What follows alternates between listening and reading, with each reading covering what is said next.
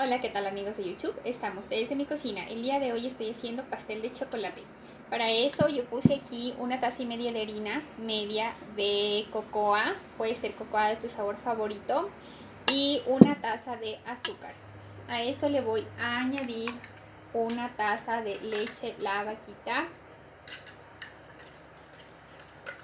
Tengo que mezclar el agua con la leche la vaquita y le voy a añadir aquí y cuarto de vaso de aceite.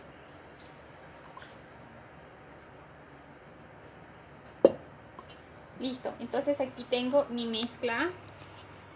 Ya le he puesto en, pueden hacerle en una olla o en un bol.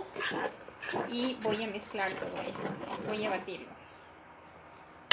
Listo, entonces aquí voy a batir esta mezcla por más o menos el tiempo de 5 minutos con mi batidor de mano y lo voy a poner al horno.